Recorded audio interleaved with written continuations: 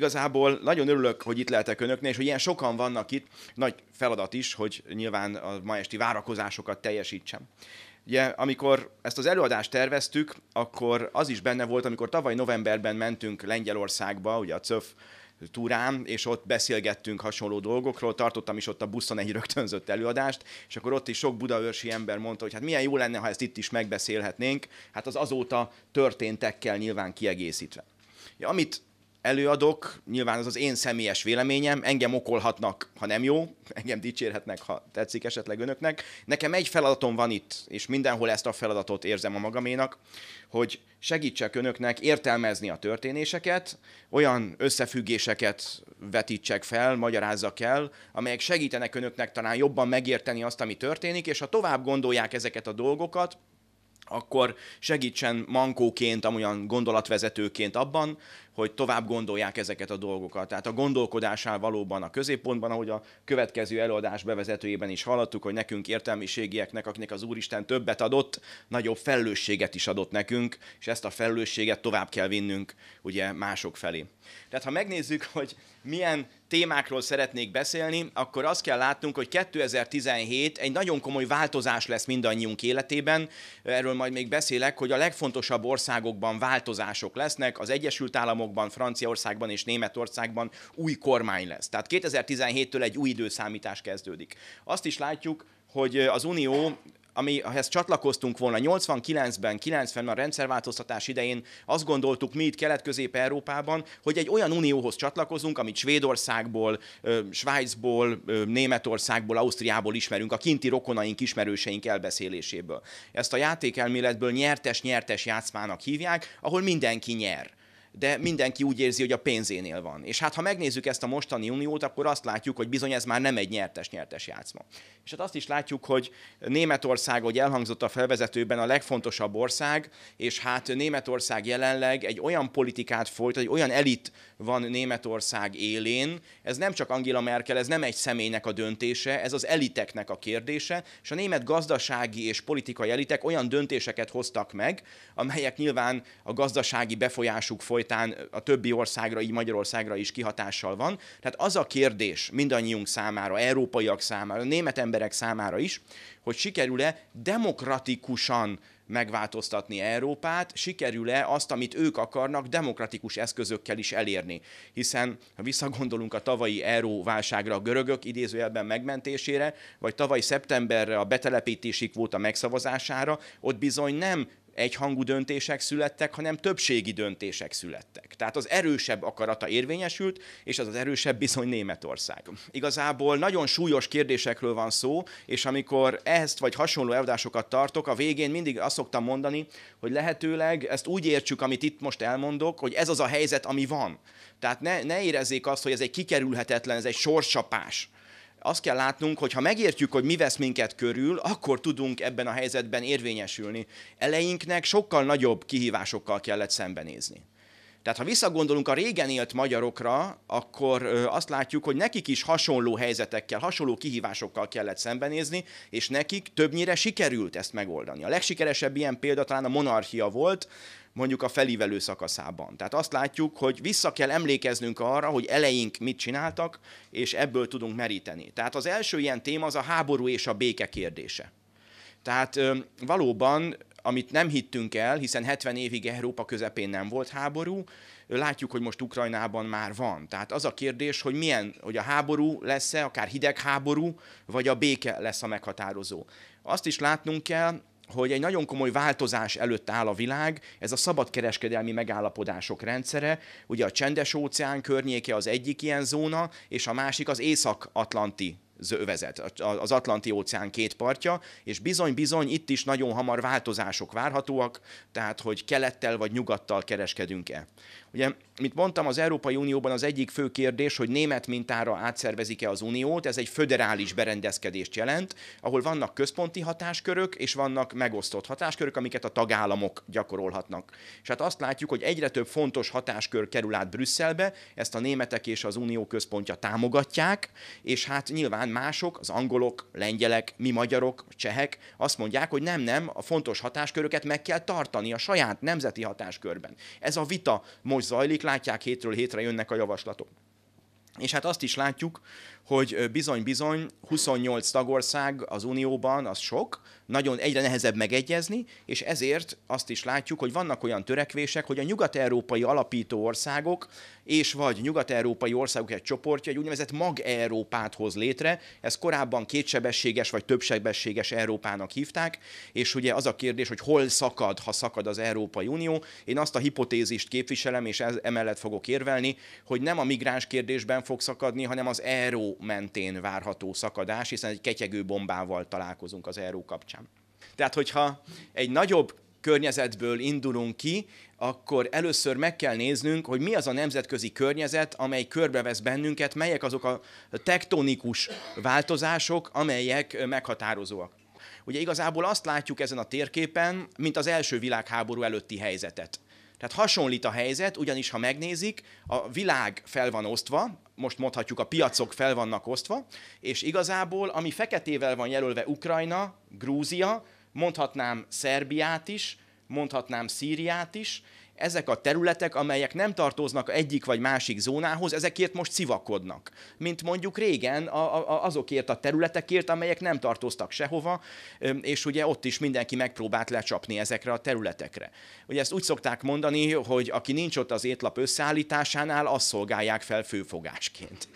Tehát itt is azt látjuk, hogy azok az országok, amelyek bizony nem tartoznak egyik vagy másik szövetségi rendszerhez, azok bizony pórul járnak, és ilyen szempontból szerencsénk van, hogy mi most a nyugati rendszerhez tartozunk, mert minket ez most nem érint, vagy legalábbis máshogy érint.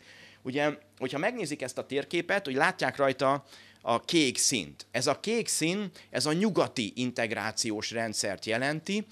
igazából, ha megnézzük, van 550 millió európai az Európai Unióban, hozzászámolhatunk még 330 millió amerikai, tehát ez nagyjából egy ilyen 880-900 millió ember. Ha még hozzászámoljuk Kanadát, Izraelt, Ausztráliát, Új-Zélandot, akkor nagyjából egy milliárd embert maximum számolhatunk. Ha megnézzük a másik oldalt, akkor itt Oroszországot és az orosz integrációt látjuk. Ugye ők is szerették volna Ukrajnát megszerezni. Ukrajna nélkül az oroszok nagyjából ilyen 170 millióan vannak, Kazaksztánnal, Fehér Oroszországgal és még egy pár ilyen kisebb országgal. Ugye hát ez nem egy túl nagy szövetség, ami 550 milliónkhoz képest, azonban azt kell látni, hogy ez az orosz integráció, az úgy, hogy Gazdasági Unió, ez tavaly alakult, tehát ez a 170 milliós blokk egy még nagyobb blokknak a része, ami Kínával és Indiával kiegészülve nagyjából nagyjából 2,5 milliárd ember, Indonéziával majdnem 300, 3 milliárd ember. Tehát azt látjuk, hogy minimum ez a két nagy tömb áll egymással szemben, nem annyira katonailag, mint inkább gazdaságilag. Tehát két gazdasági tömböt képzeljenek el, és ezek civakodnak egymással, hogy melyiknek legyen nagyobb befolyása, melyik az, amelyik a piacokat és a nyersanyagokat jobban ellenőrzése alá tudja vonni. Ja, hogyha megnézzük a világot Moszkva szemszögéből, akkor azt látjuk, ez egy orosz térkép, amit itt látnak, egy nagyjából tavalyi orosz térkép, akkor azt látjuk, hogy ez a zöld vonal jelzi azt, ahová a vörös hadsereg 1945-ben eljutott. Amit az oroszok elfoglaltak, ők ezt úgy mondják, amiért vért adtak. Ugye a rendszerváltoztatás idején az oroszok befolyása visszaszorult a volt szovjet tagköztársaságok területére, kivéve mondjuk a balti országokat, egy-két ilyen déli államot, de igazából az orosz befolyás visszaszorult. És igazából ez a térkép azt mutatja, ez a kék vonal azt jelzi, hogy ha egész Ukrajna a nyugat integrációs rendszerébe kerülne, akkor bizony a Volgától 300 kilométerre, vagy Moszkvától 500 kilométerre lenne a nyugatnak a, a befolyása, és az oroszok nem attól félnek, hogy Napóleon szekerei vagy Hitler páncélosai elindulnak, hanem mondjuk az amerikak egy szép nagy szabad Oroszország tévéadót tesznek oda, és mondjuk elkezdik ugye az orosz lakosságot agitálni. Ugye idézőjelben attól nem kell félnünk, hogy a nyugat Ukrajnából egy prosperáló gazdag országot csinál, és az ukránok majd jobban fognak élni, mint az oroszok, és akkor az oroszok is olyan idézőjelben demokráciát szeretnének, mint mint az ukránoknál van. Ugye Ukrajna nem egy káoszban lévő állam, tudják, hogy 10 ezer forint a nyugdíj, 20 ezer, 30 ezer forint a fizetés a mi pénzünkben, tehát nagyon rossz helyzetben van. De igazából, ha egész Ukrajnát vinné a nyugat, akkor igazából ugye az orosz befolyás nagyon visszaszorulna. Ez a rombusz az amerikai rakétavédelmi pajzsot jelzi, ugye itt van ennek a, a jelképe, és hát itt értjük meg, hogy mi igazából magyarok nem politikai szövetséget kötünk az oroszokkal, hanem gazdasági kapcsolatokat szeretnénk az oroszokkal ápolni. Ugye a Paksi atomerőmű ennek az egyik jele. Igazából ez egy nagyon érdekes kérdés. Tudják jól, hogy a skandinávok, a baltiak, a lengyelek máshogy gondolkodnak erről. Ők tartanak az oroszoktól, tartanak attól, hogy az oroszok esetleg nem csak gazdasági befolyást, hanem katonai befolyást is akarnának szerezni, és például tudják, hogy Lengyelországban vagy Skandináviában a férfiak, hatköteles férfiak önként végeznek tartalékosi szolgálatot, és az ottani lakosság elfogadja, hogy többet költsenek fegyverekre. Képzeljék el, hogy most Magyarországon is nekünk is azt mondanák, hogy többet kell költenünk fegyverekre, az azt jelenti, hogy máshol az a pénz hiányzik. Ezt a baltiak, skandinávok, lengyelek elfogadják, csehek, szlovákok, magyarok, mi máshogy gondolkodunk. Mi magyarok is négyszer mérkőztünk meg az oroszokkal, kétszer a németekkel, egyik sem volt sikeres 150 év alatt. Mi más következtetéseket vontunk le a történelemből, hogy egy partneri viszony kell, egy kiszámítható viszony kell, és aki kereskedik egymással, aki üzleti kapcsolatban az nem fog háborúzni. Tehát ez, ez nem jelenti azt, hogy mi kilépnénk a nyugati rendszerekből, azt jelenti, hogy kor- korrekt viszonyt kell ápolni a többi országgal, Kínával vagy Oroszországgal, erről még lesz szó. Tehát ez az a konfliktus zóna, ami minimum Európát meghatározza. Ha megyünk tovább, akkor egy nagyobb konfliktust látunk. Ugye, mint mondtam, Kína és Oroszország egyfajta szövetséget alkot. Ugye tudjuk, hogy Oroszország nagyon gazdag természeti kincsekben, Kína meg egy feltörekvő ipari ország, tehát itt ez a, ez a két ország egymásra talált, és hát nyilván van egy úgynevezett inkumbens hatalom, a vezető világhatalom az USA, amely katonailag és gazdaságilag egyértelműen vezető világhatalom, és hát felemelkedő hatalom, a kihívó az Kína, nem Oroszország, hanem Kína. És igazából, hogy a történelemben mindig is voltak úgynevezett inkumbensek, akik a status quo-nak a haszonélvezői voltak, hívjuk őket világhatalomnak, ilyenek voltak mondjuk a, a, a spanyolok, aztán jöttek a portugálok, ilyenek voltak a hollandok, aztán őket az angolok ö, ö, ö, kezdték ki, aztán az angolokat a franciák, ugye Napóleon például, és hát legvégül ugye az angol világhatalmat kezdték ki kétszer a németek, és utána az angol világhatalmat átvették az amerikaiak. És igazából ezt a stafétát ugye adták tovább egymásnak a világhatalmak, attól függ, hogy ki volt sikeresebb, ki volt ügyesebb. Most az amerikaiak kezében inog ez a staféta, és minimum gazdaságilag a kínaiak meg fogják előzni Kínát, hogy mik, USA-t. Azt nem tudjuk, hogy mikor. Ugye ez olyan, mint korábban az euró bevezetése volt, hogy majd két év múlva, majd két év múlva, de hogy mikor két év múlva azt nem tudjuk. De igazából azt látjuk, hogy ha Kína ilyen erősen fejlődik, akár most ezzel az idézőjelben csak 7 százalékkal, ami nekik kevés, nekünk sok, akkor lehet, hogy 2020-ban, 25-ben előbb-utóbb megelőzik majd az USA-t. Nemzetgazdasági szinten. A legszegényebb amerikai egy terepjáróval megy majd olcsó tejért a szupermarketbe. A legol- legszegényebb kínai meg egy bicikliről fog álmodni. Csak az USA-ban van 330 millió ember, Kínában meg 1,3 milliárd ember. Az USA életszínvonala stagnál vagy csökken, a kínaiaké meg lassan araszol fölfelé. És nemzetgazdasági szintről beszélünk, hogy Kína át tudja venni ezt a világgazdasági stafét. Tehát az országokról beszélek, nem az emberek életszínvonaláról, az átlag emberről beszélek. Jó, tehát ez a nagy konflikt. Az USA nyilván megpróbálja ezt a folyamatot lassítani, míg a kínaiak ezt megpróbálják nyilván felgyorsítani, akár kereskedelmi eszközökkel. És ahogy az amerikaiak lekoppintották a briteknek a módszereit, roppant egyszerű, a kulcshelyekre támaszpontokat helyeztek, és olyan előnytelen kereskedelmi szerződéseket kötöttek a benszülöttekkel, ami az angoloknak jó volt, a benszülötteknek nem. Elég a kínai ópiumra gondolni, hogy Indiából átvitték az ópiumot Kínába, és azért ezüst, elvették a kínaiak ezüstjét az ópiumért cserébe. Milyen jó üzlet, nem? Kínai kapott ópiumot, az angol kapott ezüstöt. Tehát igazából ilyen és hasonló eszközöket használtak az angolok. Az amerikaiak ezeket a trükköket vették át az angoloktól, és most a kínaiak is az amerikaiak trükkjét veszik át, ha röviden kéne összefoglalnunk, a dollárt. Tehát a kínaiak nem tesznek mást, mint a yuánt, az ő fizetőeszközüket próbálják meg olyan szerepbe hozni, mint amilyen jelenleg most még a dollár. Ugye ezt Abraham Lincolnnak tulajdonítják azt a mondást, ha veszek egy angoltól egy kabátot, akkor a kabát az enyém, a 10 dollár meg az angolé. Ha egy amerikaitól veszek egy kabátot, a kabát is Amerikában marad, meg a 10 dollár is Amerikában marad. Tehát roppant egyszerű, hogyha kínaiakkal kereskedünk, ők azt mondják, hogy kereskedjünk ne dollárban, hanem yuánban. És igazából itt értik meg ezt az egészet, hogy milyen jó idézőjelben játék is ez a világpolitika, és ezért nem mindegy, hogy kialkotja a szabályokat, hiszen most, ha kínaiakkal kereskedünk dollárban, Amerikától kell dollárt vennünk, és azt adjuk a kínaiaknak. Ki határozza meg ennek az értékét? Az amerikaiak. Hogyha viszont yuanban kereskedünk, akkor nekünk szalámit, aranyat, dollárt, eurót kell adnunk a juánért, hogy vehessünk kínai termékeket.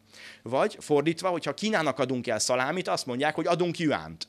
Nem dollárt adnak, mert azt nekik kéne az amerikaiaktól venni, adnak az ő pénzükből, amit ők nyomtatnak, aminek ők határozzák meg az értékét, amivel két dolgot, három dolgot csinálhatunk. Egy, ott levásároljuk. Akkor veszünk valamit, amire nekünk szükségünk van. Kettő, ugye befektetjük ott, veszünk ottani államkötvényt, és akkor őket finanszírozzuk. Vagy három, átváltjuk dollárra, euróra, forintra, és veszteséget szenvedünk el. Tehát mindenki a saját pénzében szeretne kereskedni.